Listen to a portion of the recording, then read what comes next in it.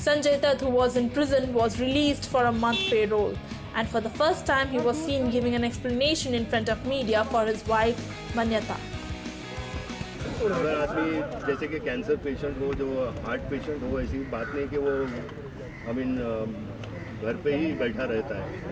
वो भी बाहर जाता है अपना काम करता है जब तक ऑपरेशन नहीं हो और जब तक जाँच नहीं की जाए कि मतलब वो में जो ट्यूमर है वो है क्या?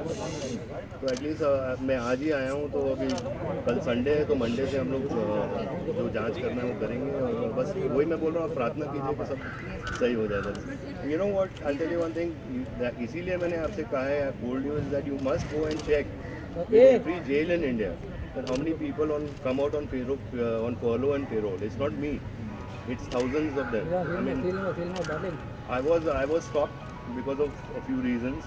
But like that, every every day there's so many people who go and who come. I mean, so I have come in the line. I've come in a process, and like I said, Mr. Deshmukh is a very responsible IAS officer. You can't point fingers at him. I mean, whatever he's done, he's done in process, and even more because he referred my case.